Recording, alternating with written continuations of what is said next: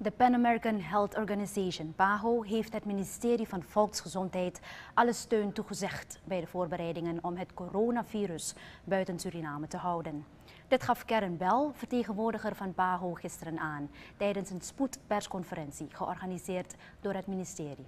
Bell zei verder dat de PAHO het ministerie zal helpen met het inlichten en informeren van de samenleving. Met het doel dat er geen paniek uitbreekt. We will be supporting um, the development or the printing of uh, educational material to enhance public awareness and to help with the risk communication.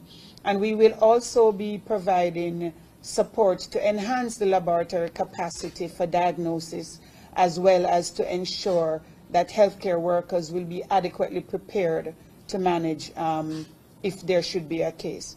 So I really just want to congratulate the Ministry of Health for the efforts that they have implemented thus far and to ensure you that PAHO continues to support the Ministry of Health as they prepare for any eventuality should this new virus come into the country.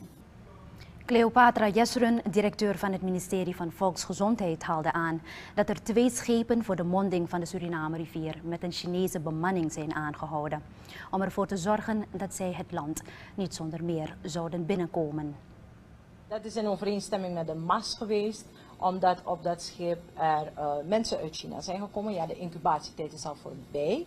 Dat was uh, 14 dagen natuurlijk, maar er waren ook mensen opgepakt bij Panama, dus we willen voor alle zekerheid. Ze hebben de boten nu al gescreend en alles, alles ziet er rustig en goed uit. Dus, uh, maar ze zijn vast blijven zitten op de zee omdat hun, hun boot het heeft begeven om terug te komen. Um, dus ze zijn onderweg, maar dat is alleen maar om je een beeld te geven hoe serieus en hoe ernstig uh, het ministerie van Volksgezondheid dit neemt en de verantwoordelijkheid die wij hebben. Cleopatra Jesrun, directeur van het ministerie van Volksgezondheid.